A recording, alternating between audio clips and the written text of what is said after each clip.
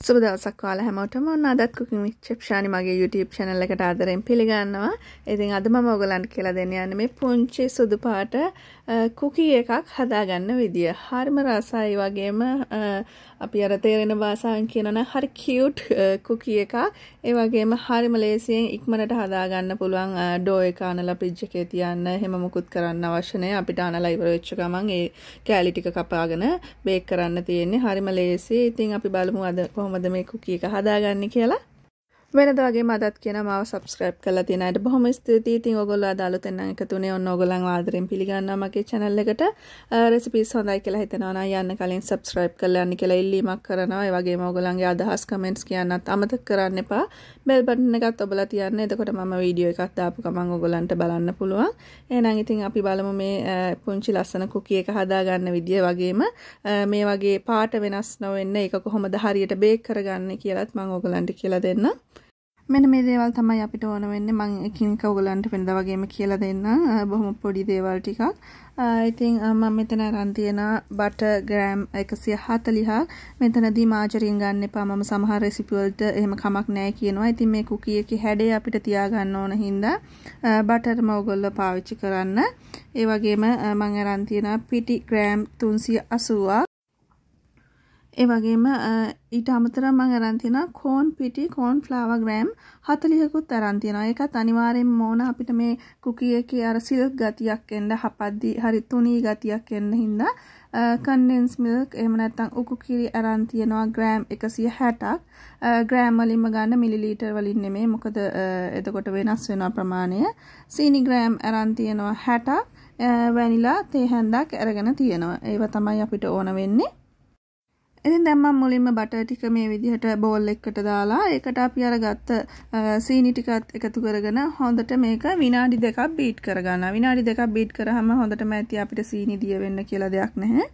ඊට පස්සේ ඔයගලන්ට පුළුවන් මම මේ පෙන්වන විදිහටම අපි ගත්ත කන්ඩෙන්ස් මිල්ක් ටික එහෙම නැත්නම් උකු කිරි ටිකයි වැනිලා ටිකයි මේකට එකතු කරන්න. එතකොට මේකේ සීනි පොඩ්ඩක් කැට තිබුණත් දිය වෙනවා. ඉතින් පොඩ්ඩක් මතක තියාගන්න ඔයගොල්ලෝ ගොඩාක් ලොකු සීනි කැට තියෙන ඒවා නම් ගත්තේ පොඩ්ඩක් ටිකක් බ්ලෙන්ඩ් කරලා ගන්න. ඉතින් හැම රෙසිපියදීම මම ඒක කියනවා. එතකොට අපිට මිශ්‍ර කරන වැඩවලදී ඒක පොඩි පහසුවක් තියෙනවා. ඒ වගේ මතක තියාගන්න මම කන්ඩෙන්ස් මිල්ක් දැම්මට පස්සේ මේක ආපහු බීට් කරන්නේ මේ වගේ විස්ක් එකකින් තමයි හොඳට මිශ්‍ර කරගන්නේ. අමුද්‍රව්‍ය ටික හොඳට මිශ්‍ර වුණාට පස්සේ අපිට පුළුවන් මේකට අපේ පිටි ටික දාගන්න. දැන් මේ විදිහට මම හොඳට මිශ්‍ර කරලා සීනි සැහැන්න දිය වෙලා හොඳටම කියලා තේරුණාට පස්සේ මම අපි අර ගත්ත පිටි දෙකම එකට දාලා සාමාන්‍ය පිටි ටිකයි කෝන් පිටි ටිකයි දෙකම එකට දාලා අපේ මිශ්‍රණයට මේ විදිහට හලලා තමයි එකතු කරගන්නේ. ඊට පස්සේ අපිට අපිට මේ බැටර් එක නැවතත් මම ස්පැචුලා එකකින් මිශ්‍ර කරගන්නවා. බීටරේවත් විස්ක් එකෙන් කරන්න බෑ ඊට පස්සේ ඝනකම වැඩිනේ පිටි දැම්මට පස්සේ ස්පැචුලා එකකින් හොඳට මිශ්‍ර කරනවා. ඉතින් මේ විදිහට මිශ්‍ර කරද්දී ඔයගලන්ට තේනවා දැන් මේක හොඳට ඝනකම් වෙලා ඒ වුණාට තාම මේක ක්‍රම්ස් ගතියට තමයි තියෙන්නේ. එකට එකතු වෙලා නැහැ. මම ඊට පස්සේ අතින් මේ විදිහට හොඳට මිශ්‍ර කරලා ඒක එක ඩෝ එකක් එක බෝලයක් වගේ එනකන් හදා ගන්නවා. ඉතින් මේක තව දෙයක් කියනනම්. දැන් මෙතන මේ කන්ඩෙන්ස් මිල්ක් දැම්මටත් අපි සීනිත් තව එකතු කරනවා. ඒ දැම්ම කියලා මේක ගොඩාක් පැණි රහ කුකී එකක් නෙමෙයි ඔයගොල්ලන්ට තේරෙයි මේ ඒ ප්‍රමාණයට අපි පිටි ගොඩක් මේකට එකතු කරනවා. ඉතින් ඒක හින්දා අසාමාන්‍ය ලෙස පැණි රහ කුකී එකක් නෙමෙයි නෙමෙයි ඒ වුණාට හරිම රසයි.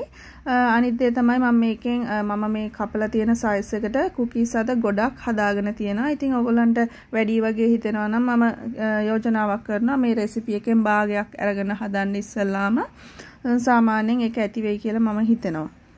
ඉතින් මිශ්‍රණය මේ විදිහට එක ඩෝ එකට ගත්තට පස්සේ දැන් අපිට තියෙන්නේ මේක හොඳට පැතලි කරලා කෑලි වලට කපා ගන්න. ඉතින් මෙතන තමයි ඔයගලන්ට වෙලාවක් යනවා නම් යන්නේ. මොකද එක ගානට මම ලස්සනට නීට් එකට කපාගෙන තියෙනවා. එතකොට ලස්සනයි කුකී එක ඔයගොල්ලෝ දකින්න ඇති මගේ ෆොටෝස් වල. ඉතින් එහෙම කියලා වෙනසක් නැහැ. ඔයගලන්ට පුළුවන් ටිකක් ලොකු කෑලි කපා ගන්නත්. එහෙම නොත් බේක් කරන කාලය පොඩ්ඩක් වැඩි වෙනවා. ඒක පොඩ්ඩක් කල්පනාවට ඔළුවේ තියාගන්න. ඉතින් මේ විදිහට මම ට්‍රේ එකේ මේක තුනී කරලා පුංචි කෑලි වලට කපාගෙන තියෙනවා. ඔයගොල්ලෝ අද දැකපු සයිස් එක මම කපාගෙන තියෙන්නේ සෙන්ටිමීටර් එකහමාරක් දිග පළල උස හිටින විදිහට අඩි රූලකින් මම පොඩ්ඩක් මාක් කරගෙන ඒක පිළිවෙලට කපාගෙන තියෙනවා. ඒක ඔයගොල්ලෝ කැමති විදිහක් බලලා කරගන්න. දැන් මම මගේ ට්‍රේ එකට මේ විදිහට බේකින් පේපර් එකක් දාගෙන තියෙනවා. ඊට පස්සේ මම මේ කුකීස් ටික ඒකේ අතුර ගන්නවා. පුංචි ගැප් එකක් තියලා කරන්න. මේක ගොඩාක් පිම්බෙන, ඒ කියන්නේ පිපෙන කුකී එකක් නෙමෙයි. ඒ වුණාට අපිට ඒක නිදහසේ බේක් වෙන්න ඒක උදව් වෙනවා. මොකද අපි ගොඩක් අඩු ටෙම්පරේචර් එකේ මේක අද බේක් කරන්නේ. ඒකින් හින්දා එතකොට හැම පැත්තෙම හොඳට උණුසුම් හුලං ඇවිල්ලා ඒක හොඳට බේක් වෙනවා. ඒකින් හින්දා මේ වගේ පොඩි ඉඩක් තියලා ඔයගොල්ලෝ මේක තියාගන්න ඔයගොල්ලන්ගේ ට්‍රේ එකේ මේ ඉතින් මම කිව්වා වගේ බලන්න මම මේ ප්‍රමාණයෙන් කුකීස් ගොඩාක් හදා ගන්නවා. ඉතින් ඒකයි මම කිව්වා ඔයගොල්ලෝ කැමති නම් ඔයගලන්ට පුළුවන් පොඩ්ඩක් අඩුවෙන් ඩෝ එක හදාගන්න භාගයක් වගේ. ඊට පස්සේ මම මේ ට්‍රේ එක සෙල්සියස් 150ට ප්‍රීහීට් කරපු oven එකේ විනාඩි 10ත් 12ත් අතර බේක් කරගන්නවා. ඔයගලන්ට මේක හොඳට බේක් වෙනවා. පාට වෙනස් වෙන්නේ නැතුව. ඒකයි මම කිව්වේ පොඩ්ඩක් අඩු ටෙම්පරේචර් එකේ අපි මේක බේක් කරන්නේ. ඉතින් ඔයගලන්ට ටිකක් දුමුරු පාටට වගේ ඕන නම් ඔයගලන්ට පුළුවන් මේක 165ට වගේ ටෙම්පරේචර් එක තියලා බේක් කරගන්න. ඒ කාලය ඇතුළතම. මොකද ගොඩක් වෙලා තියන්න ඕනේ මේ කාලය ඇතුළත ඒක හොඳට බේක් වෙනවා. ඉතින් ඊට පස්සේ oven එකෙන් එළියට අරගෙන ඔයගලන්ට ජා එකකට දාලා අරන් තියන්න හරි. එහෙම නැත්නම් කෑමට ගන්න පුළුවන්. ඒ වෙලෙම තේවලට වගේ ගන්නවා නම් ඔන්න එහෙනම් ඕගොල්ලොත් හදලා බලන්න. අදත් මාත් එක්ක එකතු වුණාට බොහොම ස්තුතියි. ඉතින් රෙසිපීස් හොඳයි කියලා හිතන අයට subscribe කරලා යන්න කියලා නැවත ඉල්ලීමක් කරනවා. ඔයගලන්ට පුළුවන් මගේ Facebook page එකත් එක්කත් එකතු වෙන්න. ඉතින් එහෙනම් තවත් දවසක මේ වගේම රසවත් රෙසිපියක් අරගෙන ඕගොල්ලෝ හම්බ වෙන්න එන්නම්. හැමෝටම සුබ දවසක් ප්‍රාර්ථනා කරනවා.